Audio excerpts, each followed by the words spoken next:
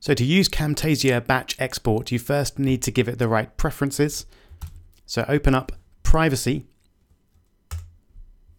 using Spotlight, and that will take you to System Preferences, Security and Privacy, and then click the lock to make changes, and click Unlock, and then click the plus button, and click Camtasia Batch Export, and open that there. Make sure it's ticked, and that will give the necessary access to the app. And then just run the script, select the folder that contains your Camtasia files. So I've got two very small ones here to see it in action.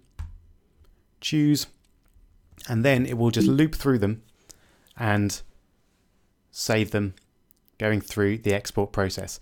Note it will export them to the folder that you most recently exported a file to in Camtasia.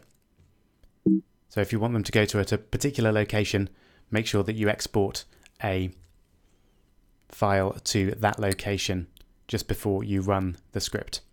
It's also a good idea to not have Camtasia running when you run this script.